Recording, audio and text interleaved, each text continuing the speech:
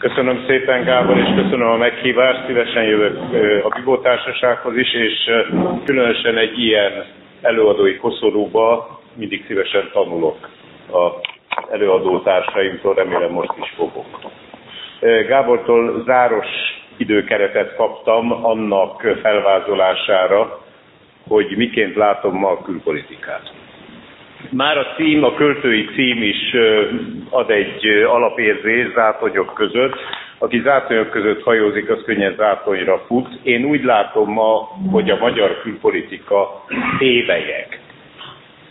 Azért tévejeg, mert nem szerez, hanem veszít pozíciókat, már pedig a külpolitikában, ha valóban a külpolitikával foglalkozunk, akkor pozíciók szerzésére szoktunk törekedni. Nem szerez, hanem veszít barátokat, támogatókat. Ennek az a fő oka, hogy a belpolitikából csinál külpolitikát, szóvivői válaszokból diplomáciai üzeneteket amelyek nagyon furcsán festenek a diplomáciai környezetben, szokatlanul, durván, sértően. Ez az egész magatartás alapvetően egy antimodernizációs, nyugat ellenes beállítódás, a centrumba való felkapaszkodás helyett, amelynek soha ilyen jó esélyeit nem kaptuk, mint az elmúlt negyedszázadban, a perifériára sodródik belső hatalmi meggondolások. Dióhéjban ezt lehet mondani. Ennek tartós anyagi, politikai és erkölcsi következményei lesznek. Nem az a baj, hogy Orbán Viktor ma Iránban van, hanem az, hogy az Európai Unió megkerülésével mint egy alternatívájaként dacból cselekszik holott most valódi külpolitika kellene. E, hosszabb, nyugodtabb időszakok után a világ most úgy alakult, hogy igen erős kihívásokkal kell szembenézni. E, az egyik ilyen kihívás az Európai Unió válság. Az Európai Unió sokszor volt már válságban, most van egy alkotmányos válság, egy permanens gazdasági válság, van egy bővítési válság, hogy csak a legfontosabbakat idézzem, és ezek között kapcsolatok is létrejöttek. Az alkotmányos válság 2005-ben kezdődött, amikor leszavazták a gyönyörűen elképzelt ö, európai alkotmányt, és néhány év vergődés és tanástalanság után lett belőle Lisszaboni szerződés, ami egész jó a maga nevében. Csak az a baj, hogy nem nyugszik a belső modellvita, most éppen azon izgul mindenki, hogy vajon az Egyesült Királyság hogyan fog dönteni. Ha megtartják a népszavazást, vagy úgy látszik elkerülhetetlen, vajon mire szavaz a többség, miként reagál a kormányzat. Ennek egyik reágazása, hogy a külpolitikában sincs uniós szinten egység, hanem abban a pillanatban, hogy egy külső kihívással szembesülünk, rögtön szép hasonlózik az unió tagállamokra és a tagállamok csoportos Erről még sokat lehetne beszélni, de időben most nem fér bele. A lényeg az, hogy ebben az alkotmányos válságban, útkeresésben a magyar kormányzat, és úgy néz ki, hogy a visegrádiak többsége is egy kis ellenzéki sarokba szól. Gazdasági válság 2008 óta teszi próbára az unió reagáló képességét. Úgy néz ki, hogy igen erős akarattal és nagyvonalú német finanszírozási készséggel sikerült az eurót megmenteni. A rajzasztalon tervezett közös valuta gyöngének bizonyult a válság viharaiban. Kiderült, hogy négy kis szöveg letűzése ezek a Maastrichti kritériumok nem alapoznak meg egy pénzrendszer, kivált akkor nem, amikor ehhez nem járult fiskális politika, de aztán elkezdett stabilizálódni, most viszont szembe kerültünk azzal, hogy a világ legnagyobb szabadkereskedelmi egyezménye, amit az Unió kötne az Egyesült Államokkal, egyelőre nem találkozik azzal a politikai támogatással, ami minden cselekvéshez szükséges, tehát a célokban való egyetértés és a támogatás megszerzése mind a végcél, mind pedig az oda vezető utat És a harmadik ilyen válság zóna az Unióban a bővítési válság, aminek Magyarország is egyik főszereplője, mint hogy mi terheljük meg az Uniót. Először az intézményeit azáltal, hogy a 15-ök mellé még először további 10 és aztán még hárman betelepültek, és az a méret, ami 12-15 tagig még viszonylag rugalmasan tudott bővülni, hirtelen túl szűknek bizonyult, és olyan erős belső szegmentáció indult meg, hogy ma már számtalan ismét szerint lehet osztályozni a tagállamokat, hogy vannak régiek és újak, nagyok és kicsik, északi és téliek, és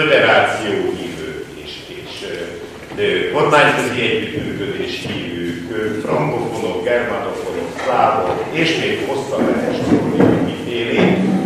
A lényeg az, hogy megbomlott az egységes követelmények, egységes jogok alapja, eltérő szintek, képességek találkoznak ezen a szinten. És amikor a modellhez érünk, akkor szemben az a helyzetben, korábban volt két nyugat-európai modell, az egyiket az alapító hatok képviselték, ez az egy mindig erősebb, ez az Ever Closer Union, az egyre szorosabb szövetség modellje, ami a végtelenben, nem belátható időből, elvezethet egy európai egyesülésig, de ez a déli báb levegett a láthatáron, és mellette egy, mondjuk ez inkább a katolikus délnek volt a francia-olasz társaságnak a és mellette egy kemény protestáns modell, a nemzetállamok, tisztelen, kemény munkán alapuló, ez a Weberi modell, és ezek a két itt egy templomban nyugodtan megfért, mert borzasztó toleránsak voltak egymással szemben. Tehát soha nem élezték. Na most ehhez jövünk most egy két kelet-európai modellel. Az egyik a szeretne fölzárkózni a nyugathoz, a másik félúton megmiatt visszafordult és menekül vissza az ómelegbe, a keleti megszokott bizánci struktúrákhoz. Ehhez tartozik most Magyarország. Na most nem lesz ebből persze kétszer két, azaz négy modell, mert nagyon erős a nyugati érték alapú tárgyaláson ö, ö,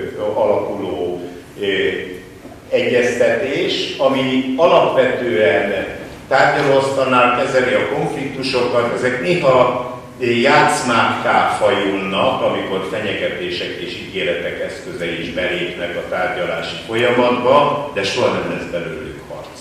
És ez egy nagyon lényeges kritérium a konfliktusoknak.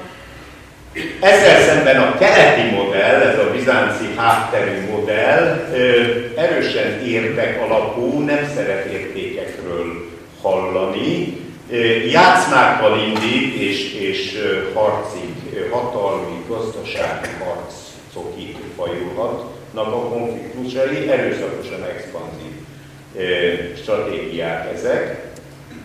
És mindennek a hátterében van egy külső periféria, amely most igen közelít hozzánk, ez a ideológia alapú iszlám fundamentalizmus, ami ö, egységet kéne, hogy kényszerítse, az egy európai gondolkodás. Na most az egészből az derül ki, hogy nagyon erős rendszer szintű kihívásoknak vagyunk kitéve, és a küszöbén állunk annak, hogy az Európai Unió egy új építkezést kezdjen el. Ennek bizonyos hangjai már hallottak. Tehát az, hogy esetleg Schengen újra kéne az eurozónát tulajdonképpen szinte újraépítették. Tehát elkezdődhet, amit szökőkút effektusnak szoktunk hívni a nemzetközi szerveződésekben, hogy föltör valamilyen kezdeményezés, aztán egyre többen, egyre többen csatlakoznak hozzá, és periferizálódik, és föltör egy újabb. Tehát most van esélye annak, hogy a 28 tagú EU-n belül nekik lesz 6-7-8 ország, amelyik valami újfajta szorosabb elkötelezettebb együttműködést kezd el egymással. A másik téma, amiről pár szót mondanék, az, hogy új konfliktus övezetek képződtek, és új konfliktus formák vesznek minket körül. És tulajdonképpen itt kéne elfelejteni a régi politikát, ami védett környezetben zajlott. Magyarország mögött van két olyan 20-20 éves szakasz, amikor nagyon nagy külső-belső biztonságban folyt az életünk, mert 1968-tól, tehát amikor az 56 utáni helyzet konszolidálódott, tulajdonképpen 88 év a Varsói Szerződés megvédett. És nem volt igazi tétje a külpolitikának, én ifjú gazdasági szakértőként ültem általában az asztal legvégén olyan tárgyalásokon, a Újabb Nagy János és mások igen élvezetes tárgyalásokat folytattak partnerekkel, de ezekben semmi kockázat nem. Forgatták a földgömböt, megbeszélték, maguknak mi a nekünk mi a véleményünk, elismételtek pozíciókat, de az égvilágon egyetlen katonát sem kellett sehova küldeni, vagy valamilyen nagyobb kockázatot vállalni. És utána volt 88-tól 2008-ig egy másik, 20 éves időszak, amikor a történelem hátszele vitt minket abba az irányba, amelyre menni. Tehát itt se kellett súlyos konfliktusokat fölválni, most jönnek a konfliktusok. És ez a befejező része a mondókámnak. Az egyik Oroszország. Elbíró Zoli majd nyilván erről szakavatottan fog beszélni. Helsinki 75 30 évig készült, amíg összejött, és 15 évig volt érvényben. És utána az a világ leomlott. Az a világ is többé, 20 év bizonytalanság következett, és ma ott tartunk, hogy nincs egy nemzetközileg elfogadott térképünk, nem tudjuk, hogy államoknak hol vannak a határai, hogy hol lehet megállítani az újjászületett orosz expanziót. Tehát megint ö, ott van a nyugat, hogy Helsinki annak idején a, az orosz-szovjet, szovjet-orosz expanziót megállította és keretekbe foglalta, most nincs ö, ilyen. Továbbiakat majd avatottabb forrás. A második az iszlám fundamentalizmus. Afganisztán, Pakisztánból idejött Szíria, Irak területére, és körülöttük egy hatalmas politikai aréna alakult ki, amiben éppen egy orosz-török konfliktus láttunk, de a fő probléma az, hogy nem két oldal és egy front vonal van, hanem általában négyig jutunk el, amíg nagyobb partnereket kiszámolunk, és mindenkinek több ellenfele van. Most ebből kell kirakni a megoldást, a megoldás most megmozdult a november 16-i Párizsi merényletek után abba az irányba, hogy tapossuk el a legnagyobb ellenfelet, a legfőbb gonoszt, és talán ez összehozza a feleket, de mindenkinek igen súlyos feltétellistája van, a törökök a kurdokat nem akarják fölemelni, az oroszok szeretnék lenyeletni a Krim elfoglalását és Ukrajna belső szerkezetét, megállítani a NATO bővítését. Tehát egy csomó érdek van mögötte, hogyha oda kerülünk, hogy jó, győzzük le az iszlám államot, de utána mi jön, ugye először is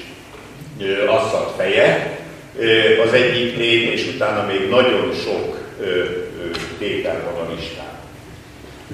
A harmadik a migráció. Európa szívébe, szívéig hatolt, most egyre többet használják azt a hasonlatot, ami az eurozónából jön eredetileg, meg a gazdasági válságból, egy erős, aszimmetrikus külső sok.